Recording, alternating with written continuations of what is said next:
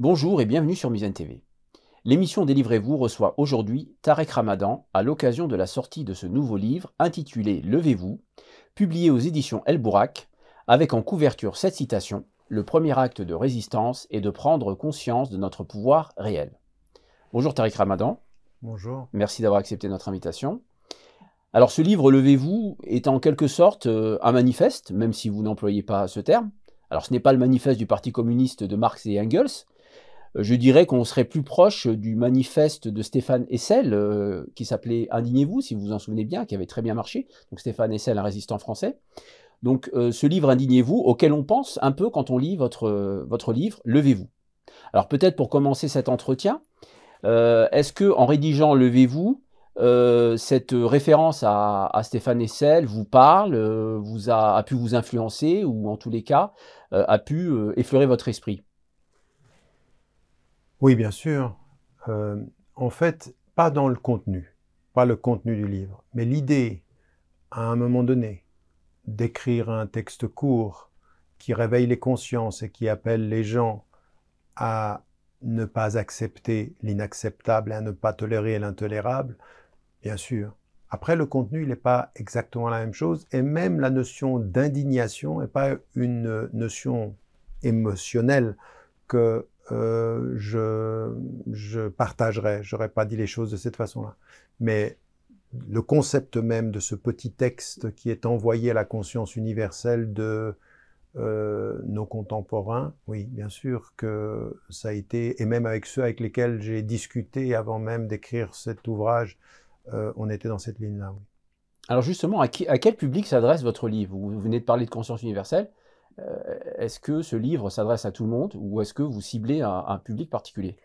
Non, justement, il s'adresse à, toutes les consciences qui observent le monde et qui ne sont pas en paix avec elles-mêmes. C'est-à-dire à toutes les consciences troublées, ça veut dire à peu près 99,9% des gens qui sont sur la Terre. Je veux dire que n'importe quelle personne qui a une conscience et qui regarde le monde, si sa conscience n'est pas troublée, euh, c'est qu'il y a un trouble, mais qui est peut-être euh, d'une autre nature. Donc c'est finalement au-delà des appartenances religieuses, au-delà des appartenances nationales, c'est la conscience humaine contemporaine qui regarde le monde, qui regarde l'état du monde, qui regarde ce que les êtres humains font du monde et qui se dit euh, d'abord je ne me sens pas bien et ce je ne me sens pas bien, le livre il vient exactement à ce moment-là, sur ce malaise. Est-ce que ce malaise va me pousser à faire partie de la majorité silencieuse, à m'exprimer ou à agir. Ce livre vient exactement à ce croisement, à ce carrefour entre des réactions possibles par rapport au malaise quand on observe le monde. Alors ce livre est en quelque sorte un coup de gueule porté contre la violence et l'injustice de notre temps. Et dans votre introduction, vous rentrez dans le vif du sujet. Donc vous écrivez page 5, les pires horreurs ont eu lieu, nous a-t-on appris, car nous ne savions pas. L'histoire récente nous montre qu'il n'en est rien. Nous voyons, nous savons, et les états des sociétés dites libres laissent faire. Fin de citation. Alors deux observations. Est-ce que vraiment hier, nous ne savions pas, car après tout hier, on savait aussi beaucoup de choses Ou est-ce que c'est une manière pour vous de nous dire, il nous faut porter un autre regard sur l'histoire, notamment lorsque nous faisons référence à des périodes sombres comme euh, le nazisme, la colonisation ou l'esclavage, comme pour mieux nous en distancier. Est-ce que vous dites finalement que l'homme d'aujourd'hui ne vaut pas mieux que celui d'hier et que nous n'apprenons rien de l'histoire? Je dis les deux. Objectivement, je dis les deux. Je dis qu'il n'y a pas de doute sur le fait que dans le passé, les moyens, de communication étant ce euh, qu'ils étaient, nous pouvons ne pas savoir. Et effectivement, il y a des êtres humains qui ne savaient pas ce qui pouvait se passer euh, en Afrique, ce qui pouvait se passer euh, à l'autre euh, bout de l'Europe, ce qui pouvait se passer dans les camps de concentration, ce qui pouvait se passer dans les réalités de l'extermination ou même de l'esclavage. Bien sûr qu'on ne savait pas, on ne pouvait pas savoir. Mais on a justifié historiquement, a posteriori, le fait de ne pas avoir agi par le fait de ne pas avoir été au courant. Et que c'était une équation qui pouvait se tenir. Je ne savais pas, je n'ai rien fait. Or, il se trouve que l'histoire nous montre que même quand on, quand on sait, on ne fait pas. Et c'est pour ça que je dis les deux. Je dis on ne savait pas, effectivement. Et on nous avait dit on n'est pas intervenu parce qu'on ne savait pas. Mais maintenant, on le voit, on le sait, on sait ce qui se passe, on sait ce qui a pu se passer. Je veux dire que le premier exemple, quand même, qui a été euh, bouleversant au-delà de ce qui s'est passé au début du XXe euh, siècle avec l'extermination des Juifs, mais quand on a vu ce qui s'est passé au Rwanda dans les années 90 et qu'on le savait et qu'on le voyait, ce qui s'est passé à Srebrenica et qu'on le savait et qu'on le voyait, ce qui se passe aujourd'hui euh, en Palestine et qu'on le voit et qu'on le sait, en Chine la même chose, au Tibet on le savait, et donc on n'a rien fait. Et donc à partir d'un certain moment, l'excuse historique de l'ignorance d'un fait pour justifier la passivité euh, qui aurait pu tenir dans le passé nous montre qu'en fait, ce n'est pas cela la réalité. Et qu'effectivement, les êtres humains du passé, qui auraient pu paraître euh, plus sages que nous ou moins lâches que nous parce qu'ils ne savaient pas, nous montrent que finalement, aujourd'hui, les êtres humains restent les êtres humains et même quand ils savent, la lâcheté, la peur et euh, l'hypocrisie a souvent raison des principes qu'il déclare. Alors dans ce tableau sombre, euh, quoique assez juste porté sur l'époque, vous dressez l'état des lieux des menaces pointées du doigt par les décideurs politiques, et parmi ces menaces, la question du terrorisme et la rupture géopolitique entraînée par le 11 septembre et les guerres dites contre le terrorisme. Alors vous écrivez page 6, la plupart des États du monde, au nom de la lutte contre le terrorisme, ont saisi l'occasion offerte par cette nouvelle donne. Il était désormais justifié et légitime de surveiller sa population pour sa sécurité et son bien, évidemment. Vous allez plus loin puisque vous parlez d'un changement de représentation du monde apporté par ce nouveau récit sur le terrorisme. Est-ce que vous pouvez préciser cette idée de changement de représentation du monde? Oui, je pense qu'il y a quelque chose qui est... Euh, j'ai même, à un moment donné, à cette époque, euh, euh, au moment de 2001, 2002, 2003, j'ai parlé d'une sorte de globalisation du syndrome israélien. Et certains ne comprenaient pas, parce que Israël se présentait comme un pays qui était attaqué par le terrorisme. Et qu'est-ce que ça voulait dire au sens global? Ça voulait dire qu'à partir de 2001, quelque chose va changer. nous ne sommes plus dans la réalité de deux idéologies qui se font face, c'est-à-dire euh, que ce soit les deux blocs, que ce soit la fin de la guerre, euh, la guerre froide, que ce soit le communisme contre le capitalisme. Nous ne sommes plus du tout dans cet ordre-là. Nous sommes étonnamment, parce que c'est quelqu'un que j'ai combattu dans un débat que j'avais eu avec lui euh, en Espagne, j'avais relevé euh, l'indécence de ce qu'il disait, mais qui représentait bien ce que Bush avait dit en 2001. C'est d'un côté la civilisation et en face la barbarie. Et c'est Aznar qui disait ça, l'ancien Premier ministre espagnol, qui me disait, mais il n'y a qu'une civilisation, c'est la nôtre, et tout le reste. Donc l'idée qu'il y ait plusieurs civilisations était tout à coup réduite. Même la position de Huntington dans le clash des civilisations était réduite. Il n'y a qu'une seule civilisation et on fait face à quoi? Tout autour de nous, il y a les terroristes. Et les terroristes ont ceci de particulier que euh, ils sont violents, qu'ils tuent des innocents et dont nous sommes les victimes. Ils sont une espèce d'hydre dont l'action est partout et la tête nulle part. Donc on, ne sait pas. Et comme on ne sait pas, pour pouvoir neutraliser cette hydre, eh bien, on va falloir, on va pouvoir surveiller. Et tous les moyens techniques, toute la technologie qui est apparue à partir de ce moment-là, qui nous donnait l'impression qu'on aurait des espaces d'expression, s'est retourné en devenant la réalité d'une surveillance possible. Ce qui est dans le euh, euh, Joshana, qui écrit le livre Le capitalisme de surveillance, elle met en évidence ce capitalisme de surveillance, c'est Google, c'est Facebook, c'est tout à coup ces espaces des réseaux sociaux alternatifs au nom du terrorisme, justifiés par le terrorisme, deviennent des instruments où l'espace de liberté est un espace de contrôle. On vous donne l'espace pour vous exprimer, mais en même temps, là où vous vous exprimez, on peut, avec les données, savoir qui vous êtes, ce que vous pensez, comment vous le dites. Et ça va servir sur deux plans. D'une part, pour la publicité, parce que vous êtes des consommateurs, et d'autre part, pour la, pour la politique, parce que nous allons pouvoir savoir quelles sont vos, pensées. Et là, on a changé de paradigme, en fait. C'est plus du tout un espace où la pensée va se décliner en idéologie et en projet de société, mais véritablement la civilisation face au terrorisme. Et au nom de cette logique-là, eh bien, tout devient possible en matière de surveillance, voire même en matière de, euh, de, perte, de, faire exactement le contraire, c'est-à-dire de processus liberticide, où on perd nos libertés.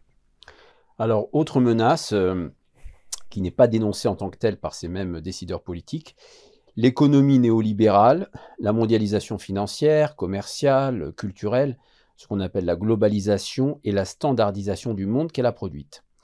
Vous écrivez, page 9, l'économie néolibérale, à quelques ajustements près, est devenue la norme et la référence, et les partis d'extrême gauche peinent à offrir une alternative concrète et crédible. Partout on critique le système, et partout il s'impose.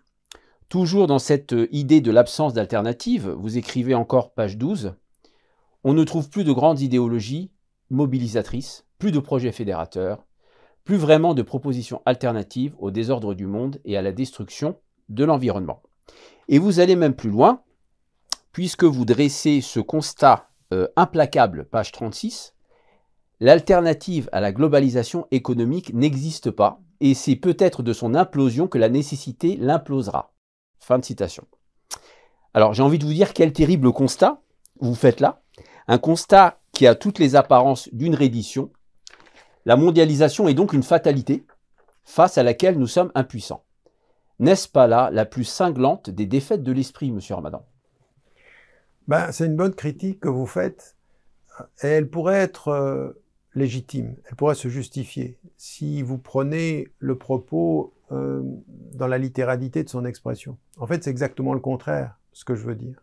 Mais je m'impose dans ma réflexion le principe de lucidité et le principe d'honnêteté intellectuelle j'ai pendant longtemps moi-même été dans les courants qui étaient les courants de la résistance, de l'opposition au capitalisme néolibéral. Je suis de cette tradition et je pense même que quand on a une foi, quand on est croyant, quand on a une éthique, qu'on soit croyant ou qu'on ne le soit pas, on ne peut pas, on ne peut pas légitimer le euh, capitalisme néolibéral. Ça n'est pas possible. C'est absolument indéfendable du point de vue de ce que cela est, de ce que cela produit.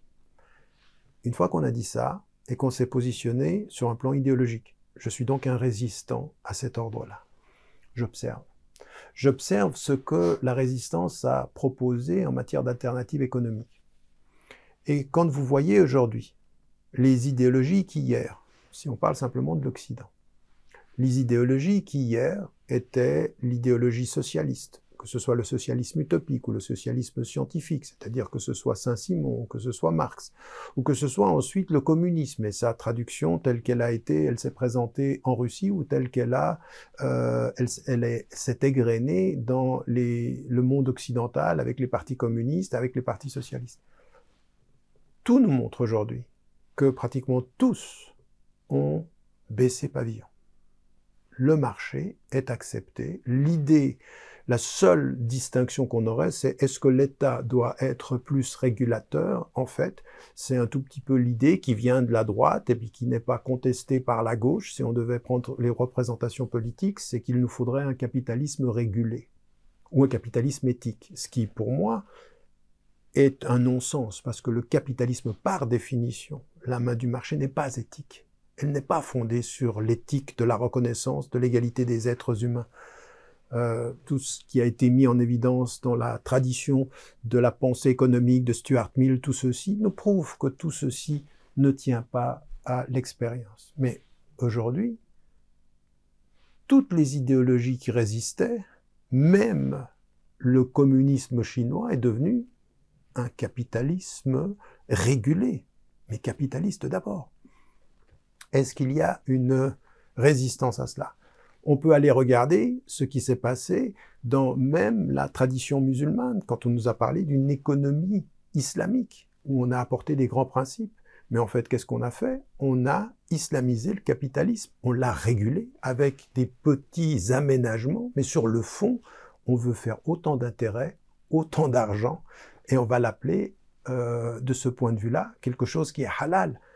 Mais est-ce qu'on a proposé une alternative?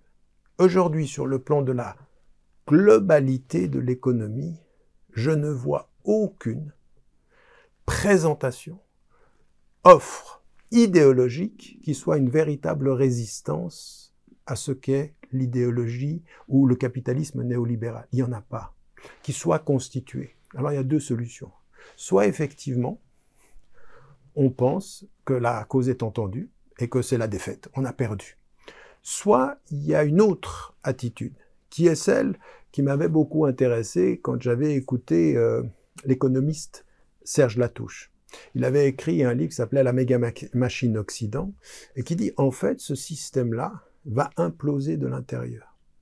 Et que si vous entendez même ce que dit Todd aujourd'hui sur la civilisation occidentale, quand il parle de la décadence de l'Occident, il dit en fait, ça vient de l'intérieur. Et que si nous écoutons Ibn Khaldoun au, euh, euh, 13e, 14e siècle, qu'est-ce qu'il dit En fait, les civilisations, elles ne sont pas forcément dans le déclin par des éléments exogènes, mais par les dynamiques internes, qui à un moment donné implosent, ou se délitent, ou entrent en contradiction avec elles-mêmes. C'est-à-dire le cycle de la vie ne tient pas au phénomène exogène, mais au phénomène réel de l'intérieur.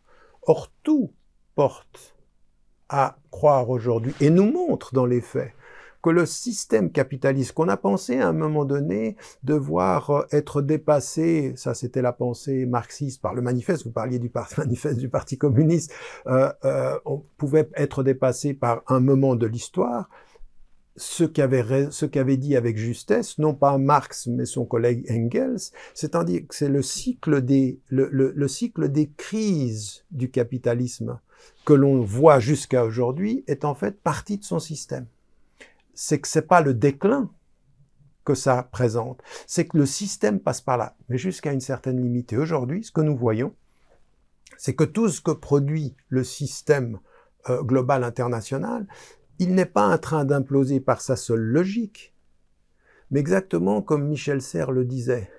À un moment donné, c'est pas la relation de l'homme à l'homme, puisque on disait que le capitalisme c'était l'exploitation de l'homme par l'homme, et que ceux qui se moquaient du communisme disaient ben le communisme c'est le contraire. Si c'est l'homme par l'homme, ben, ça sera l'homme par l'homme. C'est Coluche qui disait ça. Euh, je sais pas si c'est, je pense qu'il l'a repris de quelqu'un parce que c'est quelque chose qui vient euh, d'avant même sa naissance, je crois. Mais toujours est-il, on a ceci et qu'à partir de, de, de cette réalité-là, ce que disait Serre avec justesse, il dit mais on a oublié une troisième composante, c'est où est-ce que se joue la relation homme à homme? Elle se joue dans le cosmos. Et qu'à un moment donné, le système néolibéral est non pas simplement la réalité de l'exploitation de l'homme par l'homme, dans le sens que l'on veut, mais où cela se situe-t-il? Au cœur d'une nature qu'on est en train de détruire et à un moment donné, la troisième instance est en train de dire que votre système ne tiendra pas, que si vous continuez ce système-là, il est votre destruction à tous les deux. Non pas l'homme qui détruit l'homme, mais les deux hommes vont y périr parce qu'ils auront détruit la nature. Et qu'on peut, de ce point de vue-là, imaginer qu'il y a une implosion de tout ce système-là. Donc c'est la fin du monde finalement, parce que non, c'est pas la fin du monde. C'est pas la fin du monde. Parce que la destruction la fin de ce monde. La fin de ce monde. Oui, la fin de ce monde, bien sûr. La fin de ce monde. Et qu'à partir d'un certain moment, la fin du monde, Dieu seul décide. La fin de ce monde, nous pouvons en être les acteurs. Les acteurs pour reconstruire quelque chose, pour être des réparateurs, pour reformer quelque chose d'autre. Et qu'il ne faut pas que nous pensions qu'en face d'un système global qui détruit euh, et l'environnement et les êtres qui habitent cet environnement, il ne pourra être euh, reconstruit que par une pensée globale. Il va falloir que nous fassions acte d'humilité et qu'au niveau local, nous fassions notre part. C'est ça que ça veut dire. Et c'est donc le contraire de la conclusion que naturellement vous avez pu faire, à savoir, ben alors ça veut dire que c'est fini, la cause est entendue. Non, la cause commence. Mais la cause commence là, maintenant et tout de suite. Et que c'est ceci qui est, qui est déterminant pour nous, c'est qu'à notre échelle, nous avons à faire ce que nous avons à faire, parce que l'échelle globale nous dépasse.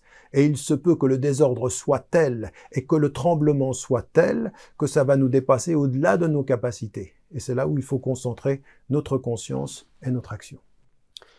Alors, on pourrait, on pourrait euh, beaucoup parler de ce sujet, mais, il y a beaucoup, beaucoup de, choses euh, dont je voulais qu'on parle euh, au sujet de votre livre. Donc, vous évoquez également les conséquences de la gouvernance autoritaire et sécuritaire et de ce qu'on pourrait sans problème appeler le totalitarisme néolibéral sur les opinions publiques. Alors, page 9 et 10, par exemple, vous écrivez On ne sait plus très bien qui décide quoi, mais les populations constatent tous les jours que leur sentiment de dépossession intellectuelle, sociale et politique est confirmé par les faits, leur vote ne change rien, et les politiques qui devraient les représenter sont désormais les détenteurs d'une autorité qui n'a plus beaucoup de réel euh, pouvoir.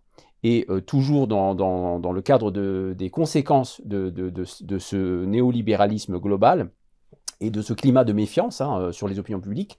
la, méfiance est proportionnelle au sentiment d'impuissance, les mensonges sont partout dans les discours des politiques et les médias sont capables de présenter les victimes en coupables et l'agresseur en agressé. Certains versent dans des théories complotistes invraisemblables. Fin de citation. Alors, euh, précisément sur le complotisme, donc sentiment de dépossession et complotisme. Et sur le complotisme, euh, vous parlez euh, donc dans un premier temps de théorie invraisemblable, hein, c'est la citation que, je viens de faire, mais dans un second temps, vous écrivez également, page 33, Résister, c'est refuser les récits et les versions imposées en prenant le risque d'être traité de complotiste ou même de négationniste. Fin de citation. Euh, alors, on a un peu de mal à s'y retrouver. Y aurait-il un bon complotisme et un mauvais complotisme? Ben, écoutez, je vous remercie d'avoir lu le, texte avec autant d'attention et de précision, et, ça me permet effectivement de préciser les choses. C'est pas qu'il y a un bon complotisme et un mauvais complotisme, il y a un complotisme réel et il y a un complotisme imaginaire. Qu'est-ce que le complotisme imaginaire? C'est celui qui est produit par une certaine façon de concevoir le rapport que l'on a à la technologie moderne. C'est-à-dire qu'à partir d'un certain moment aujourd'hui, la technologie et l'ordre du monde tel qu'il se présente fait que nous sommes en face d'une technologie extrêmement puissante et extrêmement rapide. La rapidité de la technologie va plus vite que la rapidité de nos intelligences la rapidité de la technologie travaille par corrélation, la rapidité de notre intelligence par principe de causalité. Et donc nous sommes dépassés. Et donc très vite, nous en arrivons, parce que nous sommes dépassés par la somme d'informations qui nous vient, à imaginer qu'il y a des pouvoirs occultes là derrière qui détiennent tout ceci. Et qu'on peut imaginer peut-être même un pouvoir mondial ou quelques personnes qui sont en train de tout manipuler. Et dès qu'il se passe quelque chose, on a tellement de méfiance par rapport à l'objet qu'on finit, par penser le complot par rapport au sujet de l'objet. C'est-à-dire qui est là derrière? Qui est-ce qui est en train de faire ceci? Et ça, ça, c'est le complotisme qui est imaginaire. Pourquoi? Parce qu'il n'est fondé que sur des perceptions et des représentations, et qu'à partir d'un certain moment, il a une conséquence extrêmement négative. C'est que à force de penser le pouvoir de l'objet, on finit par diminuer de, notre pouvoir en tant que sujet pensant. Et que ça, c'est la plus grande force de ce système, de ces appareils, de cette puissance euh, de, de, de, cette technologie qui, à force de nous donner l'impression qu'elle est extrêmement puissante, elle diminue proportionnellement notre principe d'autonomie, de réflexion et de pouvoir. On se dit, mais c'est pas possible, on va pas y arriver, ils sont trop forts en fait. Ils sont trop forts. Et puis il y a un, deux, trois ou quatre personnes. Ce complotisme-là, qui consiste à penser qu'ils sont tous d'accord à nous proposer quelque chose, ne regarde pas la réalité en face, parce qu'en fait, ils sont pas d'accord. C'est une paranoïa. Euh, exactement. C'est un principe de paranoïa, de projection sur le réel, qui euh, finalement donne tellement de pouvoir à celui qui gère qu'elle donne plus de pouvoir à celui qui utilise. Ça, c'est le mauvais. Maintenant, il y a un deuxième plan, qui est le véritable, la réalité de complot réel.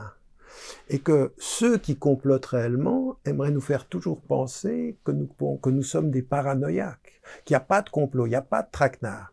Or, quand on connaît l'histoire, quand on regarde ce qui euh, se passe, eh bien, le véritable complot qu'on va déceler, il n'est pas lié à la diminution de notre pouvoir, mais à l'augmentation de notre réflexion. C'est-à-dire qu'on commence à avoir une analyse critique.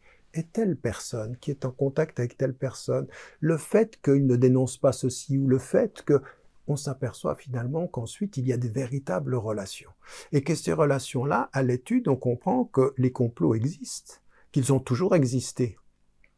Qu'aujourd'hui on le sait. Je veux dire, on apprend à gauche, à droite dans les médias qu'il y a un travaillait pour tel service de renseignement qui tout ça on le sait, que les services de renseignement payent euh, des gens, que des États payent des, des, des, des organismes des que par exemple par rapport euh, au, Cambridge Analytica, qui a été payé des millions de dollars, 15 millions de dollars par euh, euh, la campagne de Trump pour qu'il gagne les élections. Ça, c'est factuel, c'est pas un complot qu'on imagine, c'est des faits qu'on analyse. Et donc, ceci est autre chose. Donc, l'idée d'une espèce de système dans lequel nous sommes perdus et dans lequel nous avons perdu toute notre autonomie intellectuelle et notre puissance à penser, ça, c'est c'est un système qui a pour euh, but ou une pensée qui a pour but de, nous vider de notre pouvoir par une espèce de psychologie paranoïaque. L'autre, il est une autre exigence. Il est de ne jamais être naïf, de ne pas accepter ce que les médias sont en train de nous faire. Quand aujourd'hui, par exemple, je vous prends une autre chose, vous voyez qu'une personne, elle a tel organe de presse, tel organe de presse, tel organe de presse, qu'en fait des journalistes viennent de ces trois organes de presse et reçoivent un Premier ministre et vous donnent l'impression que ce sont trois organes de presse indépendants sous la même autorité du même financeur, vous apercevez qu'on vous manipule. Ça, c'est pas que vous imaginez le complot, c'est que vous avez constaté le mensonge. Et c'est cela qu'il faut faire. Alors toujours sur le complotisme, euh, une observation, euh, on, voit tout de même que la conversion radicale du discours et des valeurs françaises, euh, et par extension peut-être européennes, à propos du doute, de cette fameuse injonction de douter sur le modèle du doute radical cartésien, mais dans une version qui, qui ne serait pas philosophique, mais plutôt sophistique, ou voire même plutôt en rapport avec les opinions de manière générale. Il faudrait douter pour se préserver justement euh, du dogmatisme euh, ou du mensonge. Mais aujourd'hui, comme, comme vous le disiez, euh, douter des versions officielles, c'est être complotiste. mais qui décide finalement que notre doute ou que le doute est acceptable et qu'il ne l'est pas puisque vous-même vous évoquiez des, des, formes de condamnation de certaines théories complotistes? Alors ça, c'est une très très bonne question. Qui peut décider? Qui peut décider que le doute se justifie? D'abord sa propre conscience. C'est-à-dire qu'il ne faut laisser à personne le soin de douter pour nous, nous de faire douter. Par exemple, dans... il y a une différence, par exemple, dans une tradition spirituelle entre douter du divin et douter de soi. Qu'est-ce que nous qu'est-ce que nous disent toutes les spiritualités? Douter de tout ce qui concerne les hommes et commencer par douter de vous-même et que le principe d'évaluation de la pertinence du doute, c'est votre propre conscience. C'est ce qui s'appelle en droit le doute raisonnable. Là, ça ne me va pas. Là, il y a quelque chose qui joue pas. Donc, je dois aller plus loin. Mais ça n'est pas un doute qui passe du doute raisonnable au saut irrationnel. Qui passe, c'est une grande machine, ils sont tous. Non, ça, c'est un saut irrationnel. Le doute raisonnable, c'est un doute sage un doute sage, c'est-à-dire il pose les vraies questions. Mais comment ça se fait? Et ça n'est pas irrationnel ni non raisonnable que la majorité de nos concitoyens aujourd'hui ne croient plus à la parole des politiques. Mais pourquoi? Parce qu'ils leur ont tellement menti. J'ai un doute raisonnable. T'es un menteur en fait. T'es un grand menteur. Et parce que tu mens, je doute et que c'est juste que je doute puisque ton mensonge a été le premier élément qui a réveillé ma conscience. Et donc le doute raisonnable à l'endroit des politiques, le doute raisonnable à l'endroit des médias, à l'endroit des médias. Je veux dire, mais qui aujourd'hui, qui aujourd'hui, dans ce qu'on voit de ce qu'on nous représente du monde, je veux dire, moi-même, avec l'âge que j'ai, jamais je n'aurais cru possible qu'on monte autant sur les images qui viennent d'un massacre dans une petite région du monde à Gaza et que de voir tous ces journalistes-là être sur une même ligne mensongère. Qu'à partir d'un certain moment, je ne peux avoir qu'un doute raisonnable. En fait, de deux choses l'une. Soit vous êtes aveugle, soit vous travaillez pour quelqu'un. Et donc, à partir de ce moment, je cherche. Et donc, à partir de ce moment, sur votre question, c'est là où le principe de l'individu responsable va s'actualiser le doute devient légitime dès que j'ai un doute raisonnable. Et c'est moi qui l'ai, pas mon voisin. Euh, alors, toujours dans cet état des lieux des problèmes de notre temps, vous décrivez la montée en puissance de l'extrême droite comme conséquence du délitement du lien social, de la disparition des repères traditionnels, de l'immigration et de plusieurs facteurs convergents. Alors vous écrivez page 11, l'idéologie d'extrême droite ancienne et nouvelle se construit à partir de ressentis sécuritaires. Donc vous identifiez euh, quatre, quatre éléments, amplifier la peur, sentiment d'insécurité, le problème c'est l'autre, xénophobie, nous sommes des victimes, sentiment victimaire et déresponsabilisation, et enfin réponse culturelle simpliste, l'identité à des problèmes économiques complexes, l'injustice sociale. Voilà. Euh, alors justement, à ce propos, je voudrais qu'on aille un peu plus loin que la simple euh, condamnation, donc sur la montée de l'extrême droite. Euh, est-ce que selon vous, il faut dépasser le modèle national, ce qui était en principe d'ailleurs le projet de l'Union européenne, même si ce projet était surtout mercantile, on l'a bien vu? Est-ce que vous prenez la disparition de l'État-nation puisque le rejet de l'immigration, par exemple, se fonde, euh, si on pousse l'analyse jusqu'au bout, elle se fonde sur le postulat national d'un peuple autochtone, historiquement légitime à déterminer sa destinée sur son sol. Et donc, euh, c'est d'ailleurs le, fond des discours nationalistes qu'on entend.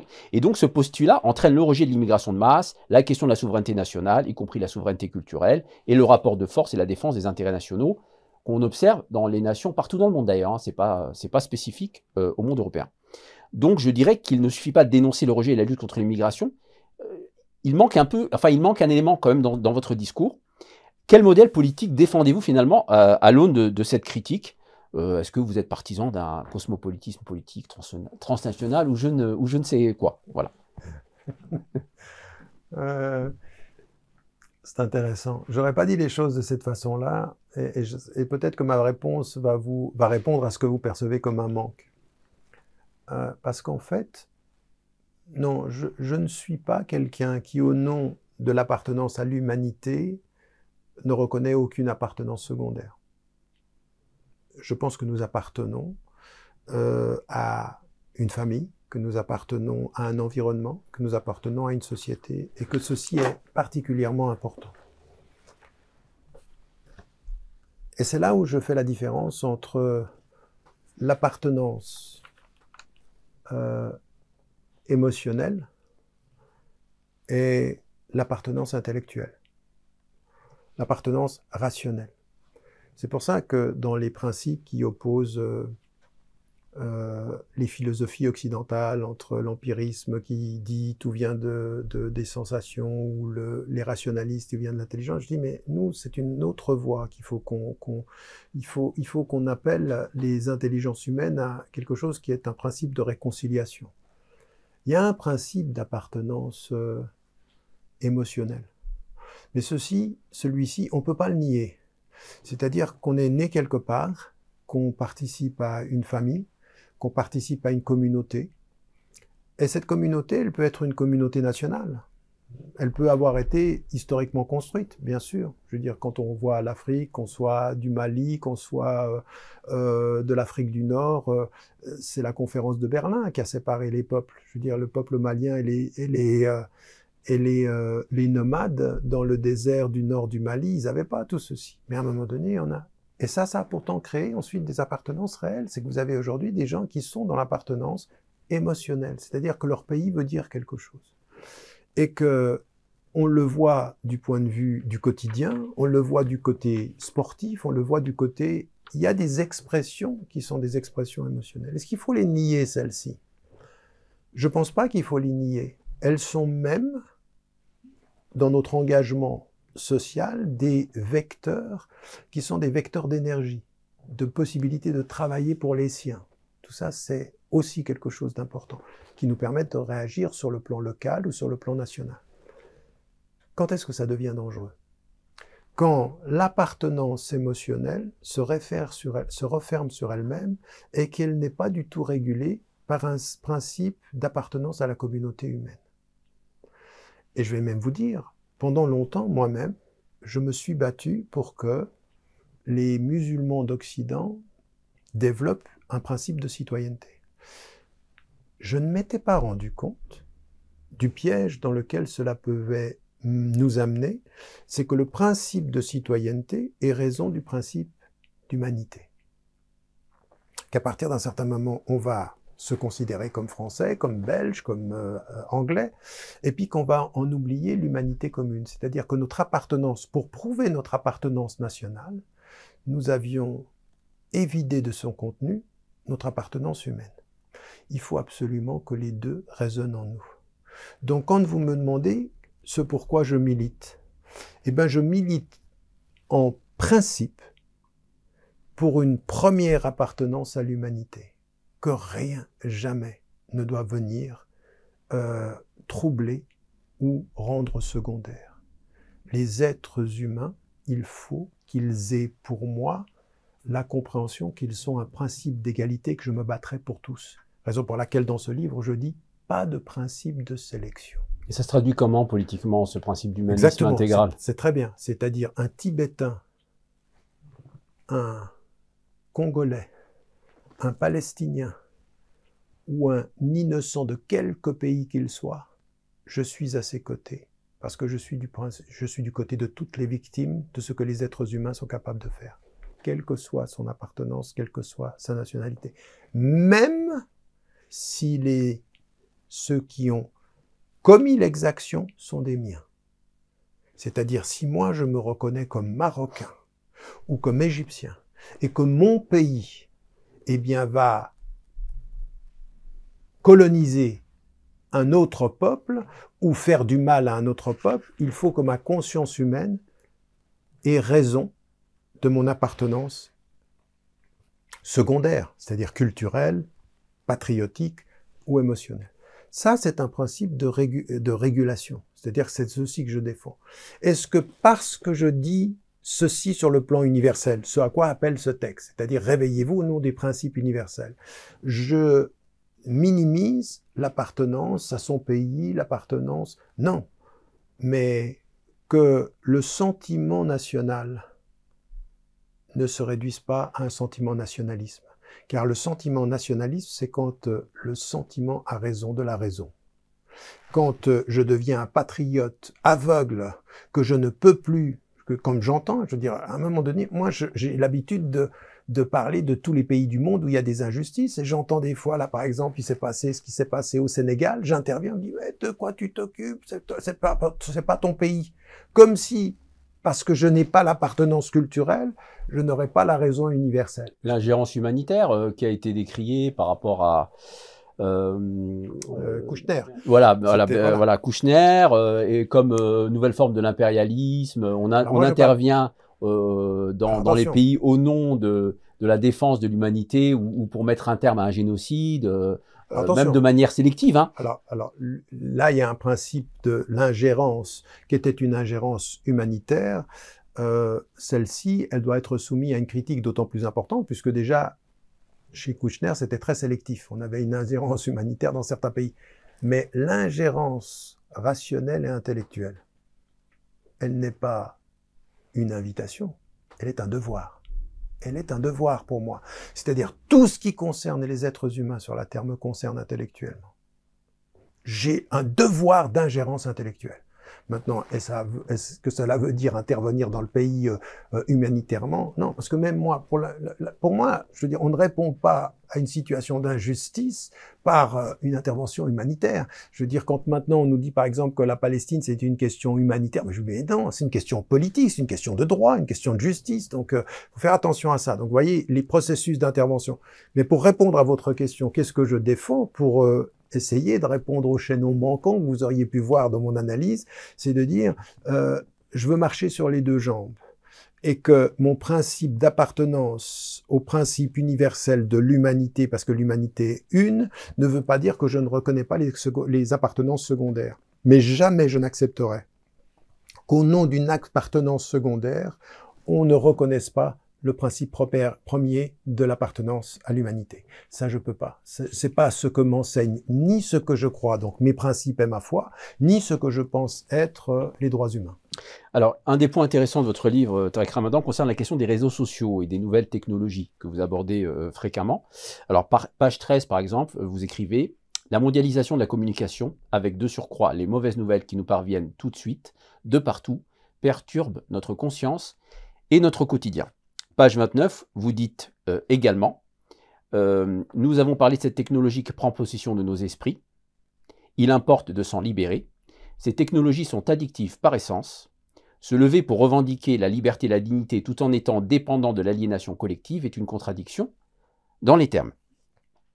Donc vous faites ce constat finalement que nous connaissons tous, hein, puisque nous, nous, le vivons, hein, la question de l'addiction des réseaux sociaux. Et pourtant, vous dites aussi dans le même passage, il n'est pas question de ne pas utiliser les moyens mis à notre disposition pour nous informer et faciliter notre quotidien. La frontière est fine entre user des nouvelles technologies et en devenir dépendant. Donc on sent bien que la position que, vous tenez est fragile et d'une certaine manière intenable et peut-être même insoutenable, au sens littéral, je m'explique. C'est-à-dire qu'on aura du mal à soutenir cette position d'utiliser les réseaux sociaux ou les applications du smartphone en général, et en même temps de ne pas en être addict. Il se trouve que ces technologies sont addictives par essence, et vous-même vous, l'écrivez. Donc je vais prendre un exemple un peu provoquant, c'est un peu comme si on disait à un jeune, tu peux prendre de la drogue, mais fais bien attention à ne pas en être dépendant. Bien sûr, j'exagère volontairement, il ne faut pas prendre de drogue en aucune circonstance. Mais voilà, cette position, finalement, est intenable et on sent bien une contradiction profonde, non pas de votre position seulement, mais de l'usage que nous faisons tous de ces nouvelles technologies, sans avoir pesé le bénéfice global de leur utilité de leur nocivité. Nous nous sentons plus ou moins obligés d'utiliser ces nouvelles technologies, nous avons conscience de leur nocivité, nous ne réussissons pas à nous protéger et à protéger nos enfants notamment de cette nocivité. On sait qu'aujourd'hui le temps d'exposition aux écrans provoque un effondrement du niveau scolaire, il y a la question de la dopamine, des notifications qui empêchent la concentration. Bref, nous continuons à utiliser ces technologies par faiblesse, incohérence ou ivresse. Est-ce que vous êtes d'accord avec ce constat? Euh, pour, le coup, euh, c'est peut-être vous là qui présentez l'idée qu'on est dans la fin, c'est la fin du monde là. On n'y arrivera pas, puisque si on est dans cette situation-là, euh, euh tout s'effondre. Vous avez à moitié raison dans le constat que vous faites. Parce que je pense qu'il faut qu'on fasse très très attention. Vous savez, moi j'ai souvent été dans mon propos, parce que j'essaye de garder cette ligne-là, d'essayer de regarder comment euh, se situer dans le principe d'équilibre et le principe de nuance. Et souvent ce qu'on m'a dit, c'est que le principe de nuance était perçu comme un principe d'ambiguïté ou de contradiction potentielle. La nuance, elle ne dit pas la contradiction. La nuance, elle est une exigence d'équilibre. Par rapport à ce que vous dites, effectivement, il y a quelque chose qui a été voulu comme tel dans les nouvelles technologies. C'est-à-dire qu'elles sont pensées pour euh, produire l'addiction? Produire l'addiction par des voies qui sont des voies qui sont comment fonctionne notre cerveau au niveau de notre rapport à l'émotion, au principe de plaisir et au principe de consommation. C'est-à-dire l'idée de cet achat, de nous transformer en consommateurs, en travaillant sur l'émotion. Et donc c'est encore une fois tout ce qui est développé dans, dans le livre euh, dans deux livres d'ailleurs, le livre sur le capitalisme de surveillance qui met en évidence comment maintenant les processus sont devenus prédictifs, c'est-à-dire qu'on peut agir sur nous pour prédire quel va être notre choix dans la consommation, voire même dans la décision politique. Euh, et puis, dans le capitalisme addictif, l'autre livre qui met en évidence le fait que euh, la technologie, elle s'est mise au service de ce capitalisme par l'addiction qu'elle produit. Et ça, ça me fait penser à une discussion que j'avais eue avec le même Serge Latouche à l'époque, où je lui disais, mais en fait, la télévision est un formidable outil d'éducation il faut garder l'outil et changer la finalité. Et lui, il m'avait regardé, il m'a dit, tu rêves. Le produit lui-même, lui-même, il est fait pour, euh, pour ça. Donc, euh, on ne peut pas changer le, le produit, il est fait pour ça. Et là, je pense que c'est partiellement juste. Parce que ce que peuvent penser ceux qui font le produit dont ils inscrivent dans son essence l'idée de l'addiction, minimise la capacité de l'être humain à pouvoir euh, s'éduquer à la gestion de l'objet. Et c'est là où nous, nous devons faire particulièrement attention. Je pense que l'objet et la technologie est très très puissante. Mais qu'à partir d'un certain moment, et c'est ce que nous disent d'une certaine façon toutes les spiritualités, les spiritualités, elles nous disent toujours qu'au nom du sens, il ne faut pas accepter la dépendance à l'objet. Et donc il faut se donner les moyens de la distance par rapport à l'objet de l'usage de l'objet, de la finalité de l'usage de l'objet. Et qu'à partir d'un certain moment, dans notre situation, l'idée qu'on peut se couper de ce monde-là est absolument impossible aujourd'hui parce qu'il est partout. Mais l'idée qu'il faut revoir notre éducation par rapport à ce monde-là pour faire un, usage qui soit un usage plus équilibré, plus conscient, mieux orienté, c'est quelque chose qui peut advenir. Et il peut advenir pourquoi? Il peut advenir pour deux raisons. Parce que la colonisation des esprits a été telle que vous voyez partout dans le monde aujourd'hui, en partie dans le monde occidental, un espèce de, une prise de conscience qu'il y a quelque chose qui ne va pas, que le trouble que ceci est en train de provoquer est en train de détruire les gens de l'intérieur. Encore une fois, vous voyez bien que parfois le système produit le malaise qui leur accuse le malaise, qui s'en distance et qui dit mais ça va pas en fait. Et que vous vous rendez compte que c'est aujourd'hui de nouvelles quêtes spirituelles, de nouveaux rapports à l'atmosphère, de nouveaux rapports au temps, qui sont justement la conséquence du fait qu'on sent qu'on est perdu, qu'on est en train de se déshumaniser. Cette technologie déshumanisante est en train de rappeler aux hommes leur, humanité. Et c'est là où nous, nous devons ben, revenir à, à ce qui est dit, c'est-à-dire le principe de connaissance, le principe de doute raisonnable, le principe de prise en charge personnelle, de récupérer son, son autonomie et son autorité personnelle. Pour les jeunes, comment vous voyez la question? Parce que ce que vous dites euh, peut s'entendre pour un adulte d'un certain âge, euh, qui aurait joui d'une certaine éducation, de l'apprentissage, euh, on voit que les nouvelles technologies créent ce qu'on appelle, enfin avec l'autocomplétion, c'est-à-dire on vous suggère les phrases à écrire quand vous rédigez un message, mmh. donc vous perdez le sens de l'écriture. Euh, je parlais de, on, parlait de l'addiction, de la dopamine, le problème à, se concentrer euh, euh, pendant l'école, pendant les cours. donc comment comment comment ce que vous dites peut s'appliquer pour les enfants finalement, pour les jeunes, les très jeunes qui, grandissent, qui et qui évoluent au sein de ces nouvelles technologies et qui n'ont pas les armes justement pour y résister Parce que ce que vous évoquez concerne cette éducation-là. Vous avez parfaitement raison. D'abord, avant de concerner les jeunes, le livre concerne les formateurs des jeunes, c'est-à-dire les éducateurs des jeunes, c'est-à-dire ceux qui se réveillent. Les très très jeunes, les adolescents, je suis pas sûr qu'ils comprendraient encore les termes de ce livre-là. Mais est-ce que ça veut dire que la cause est perdue ou la cause est entendue? Pas du tout. Qu'à partir d'un certain moment, ceux qui ont un certain âge et ils commencent à être euh, plus jeune que ce qui avait pu être la maturité il y a quelque temps. C'est-à-dire qu'à partir d'un certain moment, quand on arrive à une quarantaine d'années, quand on est jeune papa ou jeune maman, on se rend compte de ces, de ces réalités-là. Maintenant, il y a deux solutions.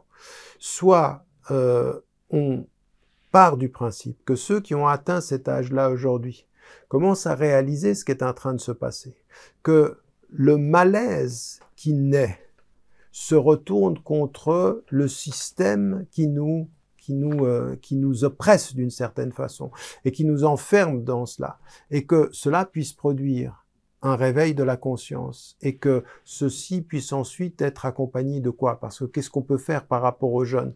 Les jeunes, ils sont dans cette addiction, ils sont emportés par Pour certains, ils sont jamais sortis de pour, pour certains, c'est leur univers de référence. Donc, ils ne sont jamais sortis de cela. C'est là où, à un moment donné, aux parents, pour ceux qui ont, par exemple, qui portent un message spirituel, pour ceux qui, portent un message de conscience humaine, à un moment donné, il va falloir que eux se rendent compte qu'il faut qu'ils puissent repenser les termes de leur éducation qu'ils ne peuvent pas simplement composer avec les moyens et puis euh, penser que les moyens vont faire le reste. Le moyen n'est qu'un moyen qui va déterminer la finalité des moyens, qui va déterminer la finalité de la vie, qui va déterminer les priorités? Et si on a des priorités, si on a des principes, à un moment donné, il va falloir aussi euh, euh, réguler le type de, d'éducation qu'on donne à ses enfants. On le sait aujourd'hui, les principaux concepteurs, que ce soit de Facebook, que ce soit de Google, ils donnent pas à, leurs enfants la possibilité d'avoir même des téléphones portables en jeune âge. C'est-à-dire, ils les protègent de ce qu'ils savent produire. Et que vous avez maintenant des gens à l'intérieur de ces compagnies qui sont en train de démissionner. Et c'est pas un ou deux, c'est des gens qui ont une connaissance et qui commencent à écrire des livres en disant mais attendez, on est en train de produire, on est en train d'être dans un processus de déshumanisation de la conscience, en fait de transformer les gens en espèces de machines euh, de réactivité animale, c'est-à-dire véritablement on lance des stimuli et on attend que le stimuli réagisse, mais sans conscience, dans un acte presque réflexe. Donc tout ceci nous amène, nous, à penser que toute notre éducation, en conscience ou en spiritualité, est par nature une éducation de la résistance. Et donc ça, il faut le faire dès le plus jeune âge, c'est-à-dire réguler le temps par rapport au téléphone, réguler le temps par rapport aux réseaux sociaux, déterminer des aspirations, déterminer des principes de vie, rappeler les principes dont on est. Tout ceci, c'est véritablement l'armature, la solidité de quelqu'un qui peut résister. Est-ce que la bataille est gagnée? Loin de là. Est-ce qu'elle est perdue? Loin de là. Alors, il y a d'autres éléments euh, qu'on aurait pu aborder sur la question de la surinformation, euh, euh, le, le, le, fait que, que, nous sommes assaillis d'images violentes, de scènes de guerre, d'informations qui viennent de partout dans le monde, la conséquence négative sur la psyché des individus, mais aussi l'amnésie de, l'inflation d'informations, une information en effaçant une autre. je, vais, je vais plutôt vous ramener sur une de, de vos citations, Tarek Ramadan, vous écrivez page 21. Penser à partir de ses émotions, ce n'est plus penser. Pourtant, l'indignation, on parlait de Stéphane Hessel euh, précédemment, l'indignation qui est une émotion, ou l'amour, ou la colère face à l'injustice, nourrit la plupart des grandes œuvres littéraires, politiques notamment. Sans émotion, nous sommes déconnectés du réel, et si nous sommes déconnectés du réel, nous ne pouvons plus le penser également. Est-ce que l'opposition entre émotion et raison, qui préfigure un peu votre euh, déclaration, votre affirmation, n'est-elle pas tout simplement une pure illusion? Non, en fait, si c'était cela que je voulais dire, effectivement, ce serait une pure illusion. Pour deux raisons.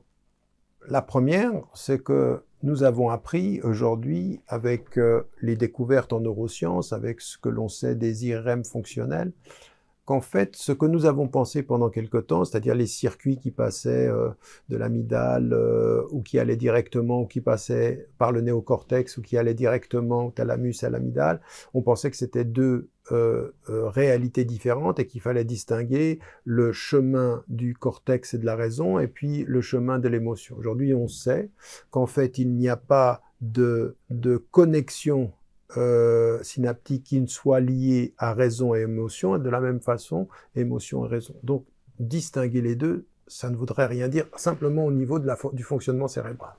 Donc, ça voudrait rien dire. Ça, c'est un premier élément. Donc, ça, factuellement, ça ne voudrait rien dire. Maintenant, si quelqu'un voulait euh, faire ce qu'a voulu à un moment donné euh, faire des cartes, ou même ce que voudrait faire, euh, puisque c'est aussi un, cours que je donne sur euh, Popper, distinguer le rationalisme critique de l'émotion comme source de la, de la connaissance. Ça ne voudrait rien dire non plus. Pourquoi? Parce que, en fait, on ne peut pas penser sans émotion et on ne peut pas vivre l'émotion sans la pensée de l'émotion. Ce que je veux dire dans le texte est un tout petit peu différent. C'est-à-dire, ne penser qu'à partir de ses émotions est ne pas penser. Qu'est-ce que cela veut dire? Ça veut dire que finalement, ne se donner ou ne produire ou ne vivre sa représentation du monde que par la charge émotive qui nous habite, ça n'est plus penser. On a perdu la pensée et on n'a que l'intensité de l'émotion. La pensée ne s'oppose pas à l'émotion, mais la pensée permet de réguler l'émotion. C'est-à-dire que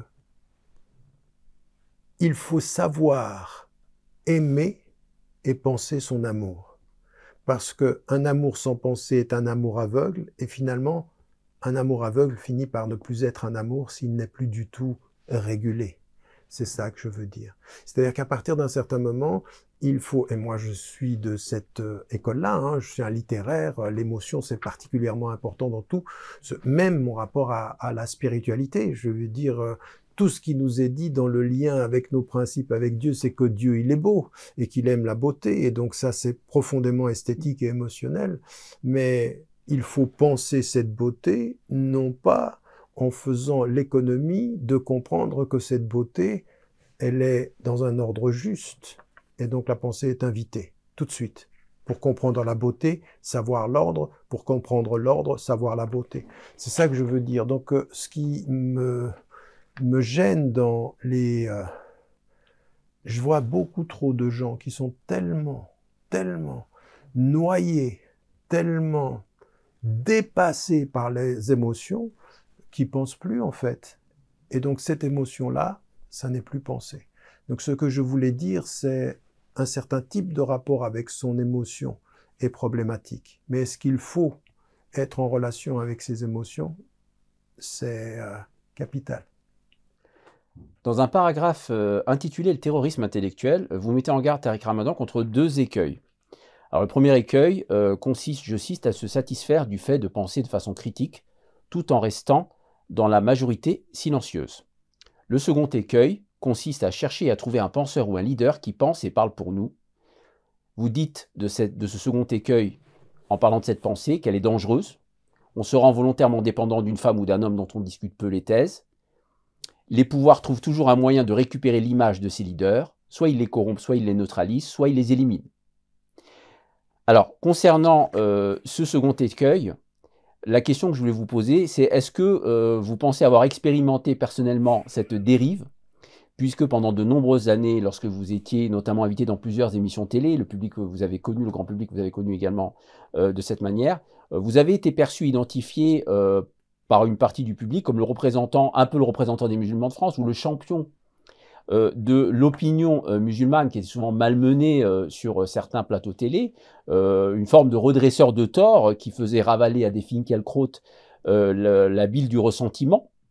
vous étiez de fait, pour cette génération-là, un leader et peut-être même une idole. Est-ce que cette expérience vous a inspiré cette réflexion sur le second écueil que vous évoquez dans le passage que je viens de lire? Non, mon expérience, elle n'a pas euh, réveillé ou elle n'a pas été la source de cette réflexion-là. Mais mon expérience l'a confirmé. C'est-à-dire que c'est quelque chose que je disais bien avant ce qui m'est arrivé. Et je disais deux choses. Je disais dans le sens de ce qui est dans ce livre-là, d'abord, un, je ne suis pas votre représentant, je ne représente personne, euh, et je ne parle pas pour vous, et au lieu de dire systématiquement que vous êtes derrière moi, il faudrait bien à un moment donné que vous soyez à côté. Donc je l'ai toujours répété pendant plus de 30 ans de mon intervention. L'exposition médiatique, que je le veuille ou non, et je ne l'ai pas voulu, mais je l'ai vécu, a fait qu'à partir d'un certain moment, pour certains, effectivement, celui qui parlait devenait le représentant de ceux qui se taisaient. Et donc on prêtait facilement euh, euh, crédit au fait de ce que j'allais dire, voire même, effectivement, euh, ce que j'ai pu voir, c'est que pour certains, ce que je disais était forcément juste, puisque à partir d'un certain moment, il y avait un processus de projection, voire même d'idéalisation. Vous avez parlé d'idole, euh, et, et, même les termes qui sont employés, je suis fan, ou l'idole, ou le représentant, toute cette terminologie-là, elle n'est pas neutre. Elle traduit quelque chose psychologiquement émotionnellement par rapport à celui qu'on place devant. Un principe de projection, un principe d'idéalisation. Et tout ceci est fondamentalement négatif. Et je mettais même en évidence que le problème des leaders charismatiques, ceux qu'on aime écouter et qui ont un certain charisme, c'est leur charisme, parce que justement leur charisme éteint la portée de leurs propos et l'autonomie de ceux qui les écoutent, parce que leur charisme fait qu'on suit plus qu'on ne comprend. Et mon expérience dont vous parlez, m'a révélé et m'a confirmé le fait de ce que j'ai dit pendant 30 ans et que j'ai pu voir concrètement, c'est qu'à partir d'un certain moment, beaucoup de ceux qui m'avaient écouté n'ont pas entendu, qui m'avaient apprécié n'ont pas forcément compris, et qu'ils ont projeté plus qu'ils n'ont partagé. Et tout ceci est vrai. Et donc, ça n'a fait que confirmer ce que je savais. Après, quand vous le vivez vous personnellement, ben, vous, euh, vous reconsidérez la façon de pouvoir le dire. Et peut-être que je le dis aujourd'hui un tout petit peu différemment de ce que j'ai pu dire hier, eu égard au fait que j'ai eu cette expérience. Alors, dans le chapitre Langage et résistance, vous écrivez également, je cite, Connaître un tant soit peu l'histoire, donner une perspective aux faits, choisir les notions et le vocabulaire de façon normative, et se donner les moyens intellectuels et linguistiques de résister au récit imposé ou à la doxa est impératif. Les faits n'ont que la vérité de leur histoire. Est-ce que vous pouvez développer cette idée Les faits n'ont que la vérité de leur histoire? Oui, ça c'est très important de comprendre que on dit souvent, et on n'a pas tort de le dire, que l'histoire est écrite par les puissants, par les vainqueurs, souvent. Et que ce qui est plus important ce n'est pas simplement que ce soit les faits rapportés, qu'il le soit par les puissants, mais c'est le vocabulaire pour le dire. Et qu'à partir d'un certain moment, nous, ce que nous devons comprendre, c'est que quand nous avons un rapport au réel, quand nous décrivons le réel, quand nous discutons le réel de façon critique, il ne faut pas simplement avoir une lecture qui est une lecture euh, figée d'un moment de l'histoire. L'histoire, par définition, ce sont des processus.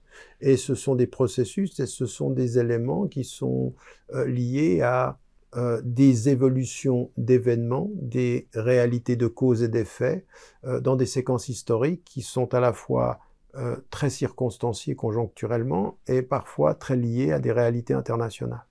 Et qu'à partir d'un certain moment, quand on fait cette analyse-là, il faut se donner les moyens, historiquement, un, de choisir les mots, deux, de déterminer la période historique que l'on est en train d'étudier et d'en déterminer les réalités des faits. Euh, dans l'objectivité la, plus pointue, on n'est jamais complètement objectif, mais on doit tendre à, l'objectivité. Et ça, ce travail-là veut dire qu'effectivement, on conteste et on discute de ce point de vue euh, ce qu'on nous impose comme récit qui s'apparente à la doxa. La doxa, qu'est-ce que c'est? C'est que ce que tout le monde finit par croire sans avoir pour chacun été jusqu'à l'analyser, ça donne la doxa, c'est ça dans la tradition grecque. Et donc de ce point de vue, il faut faire euh, ce travail-là.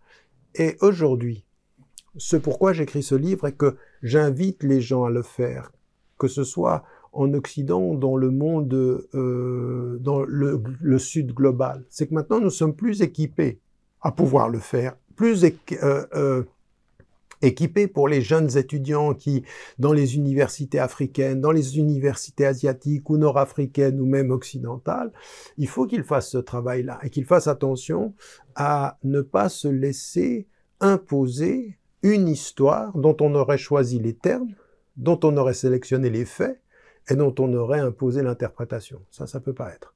Et donc c'est cela qu'il faut qu'on fasse aussi. Donc il y a un vrai le problème de notre époque aujourd'hui, c'est que les moyens techniques sont tellement rapides que notre mémoire est en train de se diminuer. Ce que l'on sait aujourd'hui dans l'ouvrage qu'avait euh, euh, euh, écrit La civilisation du poisson, euh, l'auteur mettait en évidence que finalement nous avons un temps d'attention sur les réseaux de, de 8 secondes, ce qui s'apparente un tout petit peu à l'attention des poissons, des poissons. Et donc euh, ça c'est un problème. Donc nous avons un devoir de mémoire. Le devoir de mémoire, ce n'est pas uniquement le devoir de la mémoire de ce qui s'est passé pendant la deuxième guerre mondiale, mais de ce qui s'est passé partout dans le monde et pour toutes les populations du monde cette idée de la connaissance comme moyen d'émancipation intellectuelle, hein, elle est importante. Hein. vous, vous écrivez, nous répétons parfois les mêmes erreurs car nous n'étudions pas assez les expériences des autres. L'histoire se répète et notre ignorance répète les échecs. Alors, je voudrais aussi qu'on aborde euh, tout de même un point très important. Vous abordez un, chapitre qui s'appelle Le courage d'affronter les siens. Euh, alors, je, je vous cite Dans les faits, l'appartenance au groupe qui devait être un moyen de réaliser un objectif supérieur de fraternité et de justice est devenue la finalité au nom de laquelle on trahit l'objectif supérieur pour lequel on s'est engagé. Le moyen est devenu la fin et la fin est trahie par les moyens. Voilà. Donc c'est une idée euh, euh, qui, est, euh, qui, est, importante. alors, elle est, elle est même louable sur le plan éthique, hein, cette, cette, idée qu'il faut affronter les siens et même soi-même en réalité, c'est-à-dire dire, dire, la vérité y compris contre soi-même. Euh, donc c'est une, idée, euh, une idée importante à souligner. Euh, mais est-ce que finalement, puisque vous, allez plus loin, vous, vous pensez que c'est ce type d'idée-là ou cette approche-là qui peut permettre de construire une union durable? Est-ce que finalement, c'est pas contre-intuitif de manière réelle quand on regarde un petit peu la réalité euh, puisque finalement il y a toujours une bonne raison, on a toujours une bonne raison de critiquer euh, les siens, euh, nul n'étant parfait. Est-ce que ça n'ouvre pas la, porte à des conflits fratricides, quelles que soient les appartenances, hein, peuvent être nationales, culturelles, religieuses, peu importe Est-ce que ça n'ouvre pas la porte à des conflits fratricides en cascade, c'est-à-dire des conflits d'ego d'ailleurs? Euh, l'ego est aussi une donnée anthropologique importante sur ces sujets. Et est-ce que finalement, euh, ça n'affaiblit pas politiquement? C'est aussi un peu ça qu'on voit, les divisions perpétuelles, les querelles d'ego. Euh, est-ce que ça n'affaiblit pas finalement politiquement les dynamiques de solidarité qui se mettent en place?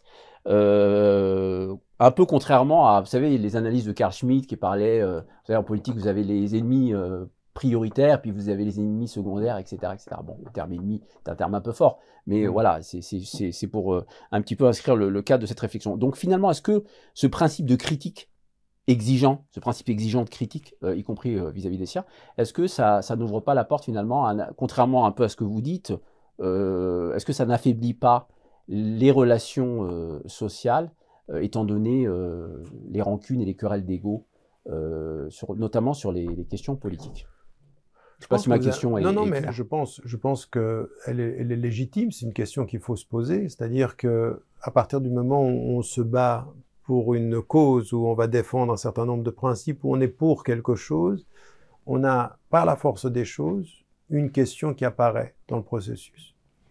Et c'est la question des priorités. C'est qu'est-ce qui doit venir d'abord? C'est-à-dire notre cause pour laquelle on se bat, ou simplement ce que l'on voit être déficient à l'intérieur de ce qui nous unit. Puisque nous nous sommes unis pour, est-ce qu'on va passer notre temps à régler ce qui nous désunit, à l'intérieur? Euh, elle est légitime, cette question. Et pourtant, il faut y répondre euh, de façon radicale. De façon radicale. Dans le sens de ce que j'ai voulu traduire dans ce livre. C'est-à-dire qu'à un moment donné, jamais mon combat pour ce qui est juste pour tous ne me permettra de justifier ce qui est injuste parmi les miens. C'est de ça dont il est question. C'est-à-dire que si au nom de l'ego, le mien, ou celui d'une de mes sœurs ou d'un de mes frères en humanité, je fais silence au nom du principe supérieur de la justice que je veux partager avec les autres, ma lutte a perdu de sa légitimité par l'aveuglement que je fais de sa trahison intérieure. Et qu'il faut savoir être juste même vis-à-vis des siens. Et ça veut dire quoi concrètement?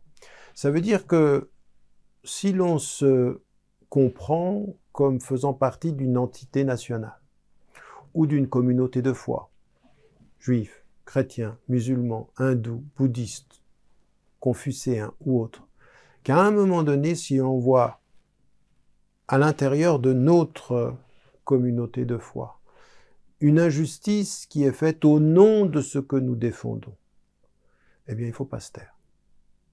Qu'il faut savoir être juste même contre... Alors, vous l'avez dit, hein, même contre soi-même individuellement, il faut avoir cette conscience-là, mais il faut l'avoir vis-à-vis de, des, des nôtres. Et que ceci n'est pas un principe de priorité. Au nom d'une lutte supérieure, je laisse les conflits secondaires. Parce que pour moi, ils ne sont pas secondaires. Ils sont aujourd'hui véritablement euh, problématiques. J'ai trop vu de gens qui, au nom d'un combat pour la justice, finalement se taisaient pour des injustices qu'ils constataient entre eux, à l'intérieur de leur dynamique. Et que, euh, à un moment donné, c'est le contraire qui va se passer. C'est pas qu'on va perdre son temps avec les conflits, c'est que ces conflits vont miner notre engagement commun à un moment donné, c'est le contraire qui va se passer. Et qu'à mon sens, le principe, c'est ce que j'appelle le principe de non-sélection, de non. Parce que moi, mon problème que j'ai avec énormément de ces soi-disant intellectuels internationaux euh, qui sont partout dans le monde, je veux dire, on les a aux États-Unis, on les voit euh, en Occident, on les voit en France, qui viennent nous donner la leçon et qui ont un principe de défense sélective de la justice eh ben pour moi, ils sont disqualifiés de la question. Parce que le principe de sélection par rapport à la justice est un principe de disqualification vis-à-vis de l'humain. Et que euh, c'est pas comme ça que je conçois les choses. Pour moi, ils sont de même nature. Maintenant, vous avez raison. Il faut faire attention euh, et il faut que notre intention, elle soit claire. Parce que là, c'est une question d'intention. C'est qu'est-ce que l'on cherche à résoudre? Est-ce que l'on cherche à résoudre un conflit d'ego? Et là on se perd, ou est-ce qu'on cherche à appliquer un principe de justice? Et là on se gagne. Et moi, c'est un principe de justice qui m'intéresse. Moi, les principes d'ego, ils seront toujours là. Et donc, euh, bien sûr qu'il y aura des principes d'ego, bien sûr qu'il y aura euh, des intérêts particuliers. Ça, c'est autre chose. Ça, c'est, ça peut être secondaire. Mais l'acceptation d'une injustice en mon nom, non, ça jamais. C'est-à-dire que, par exemple, je vais dire, euh, euh, euh, me taire sur ce que les Arabes ont pu faire dans l'esclavagisme ou l'esclavage à travers l'histoire, au nom que l'esclavage blanc était plus important que l'esclavage arabe, et en faire simplement une question de proportion, ça ne me va pas. Il faut critiquer tous les esclavages, toutes les logiques d'esclavage, et qu'à partir de certains, certains moments, même contre les siens, même contre, et même ça, ça, ça, touchait les musulmans, comme ça touchait euh, les chrétiens, comme ça. Cette logique-là. une institution hein, internationale. Donc, donc, de ce point de vue, euh, je pense que c'est ce que j'appelle, avec le principe de lucidité, le principe de cohérence. Dernière question, Tariq Ramadan, euh, la question de l'action. Vous en parlez souvent dans votre livre, et vous insistez surtout à la fois sur l'exigence de prendre la parole, vous l'avez dit, et d'autre part d'agir localement à son niveau, sur soi-même, mais aussi sur ses proches, ses voisins, etc. Le problème, c'est qu'on reste sur notre fin. On n'a pas le sentiment que ce que vous proposez est forcément toujours à la mesure de la situation. Je vais prendre quelques exemples. Par exemple, on ne mettra pas fin euh, euh, au génocide de Gaza, dont, vous avez parlé euh, également, en prenant la parole. La preuve, beaucoup de prises de parole ont lieu chaque jour. Hein. Il y a énormément de soutien et de dénonciation des atrocités qui se passent en Palestine. Malheureusement, ça ne, règle pas le problème. On ne résoudra pas la question de euh, ce que certains ont appelé la fabrique de la médiocrité, je change de sujet, euh, l'abaissement du, niveau culturel, l'effondrement du niveau scolaire. On ne, combattra pas ce, ce, problème en tweetant. On n'empêchera pas la paupérisation ou la dégradation de l'environnement par le tri sélectif ou simplement en versant l'aumône. Ces sujets, et vous le savez très bien, sont fondamentalement déterminés essentiellement à niveau macroéconomique, macro-politique, macro-environnemental, qui n'est pas le niveau local et individuel. On a donc le sentiment de lire de belles déclarations d'intention, où la force du propos tente peut-être de compenser l'impuissance du réel. Notre impuissance. Est-ce que vous partagez euh, ce constat? N'avez-vous pas péché, euh, Tariq Ramadan, par excès d'idéalisme et par manque de réalisme dans cette question de l'action contre les mots MAUX de notre temps euh, Mon sourire euh, euh, est une réponse pour vous dire que je crois que c'est exactement le contraire.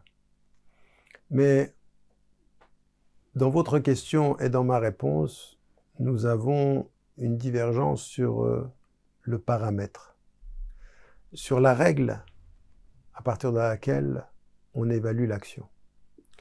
Dans toutes vos questions, votre, votre réflexion était, mais avec ceci, on ne changera rien au génocide. On ne changera rien à la pauvreté. On ne changera rien à ce qui est macro. Et ça, c'est une pensée qui se développe, elle est naturelle. Là, vous allez dans le sens de la pensée intuitive. Elle pense que l'action s'évalue pas le résultat qu'elle atteint dans le changement du problème global. C'est légitime et c'est même ce qui a fait que le capitalisme a été capitalisme.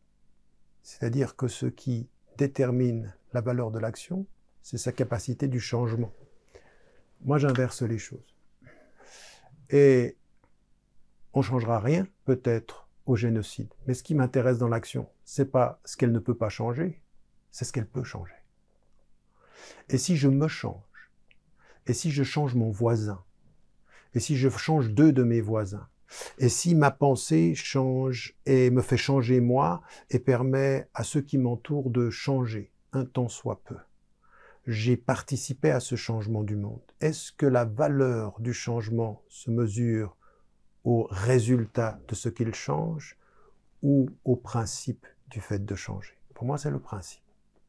Et donc, le principe du fait de changer, que je me change.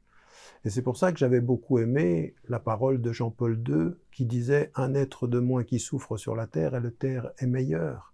C'est toutes les spiritualités qui nous disent ceci. Pour se libérer, il faut se libérer de la pensée capitaliste qui pense que le changement se mesure au résultat du changement et non pas au processus qui va vers le changement. Et pour nous, pour ceux qui doivent être euh, des êtres de conscience, eh bien, on ne peut pas tout changer, mais ce qu'on peut changer, il faut le changer. Là, maintenant et tout de suite. et que ça se mesure pas en quantité, ça se mesure en qualité. C'est soi, c'est sa femme, c'est son mari, c'est son fils, c'est sa fille, c'est son père, c'est sa mère, c'est le voisin, c'est son quartier, c'est les gens autour de nous, et que si tu meurs en ayant changé ton voisin, le monde ne le saura pas, mais le voisin le saura. Le plus beau compliment qu'on m'a fait récemment dans tout mon travail, c'est quelqu'un qui est venu à un séminaire qui m'envoie un message qui me dit Tariq, avec l'âge que vous avez, je ne sais pas si vous aurez changé le monde. Mais moi, vous m'avez changé. Ben, ça va, je peux partir tranquille. C'est peut-être euh, que ça, la réalité de la réforme et de la résistance et du fait de se lever. Se changer soi et puis de faire ce que l'on peut. Et puis, euh, les Amérindiens nous avaient rappelé ce que toutes les spiritualités euh, du monde nous ont rappelé. Commence par toi, fais ce que tu peux là où tu es. Et puis, euh, la victoire est là, même si tout le monde n'y voit que la réalité d'une défaite. Merci Tarek Ramadan. Euh, je rappelle que vous êtes l'auteur de Levez-vous, publié aux éditions Alborac. C'est la fin de cet entretien. Merci à tous nos auditeurs de nous avoir suivis. Euh, n'hésitez pas à partager cette vidéo et à vous abonner à notre chaîne. Et je vous donne rendez-vous très bientôt pour un prochain entretien sur Mise TV.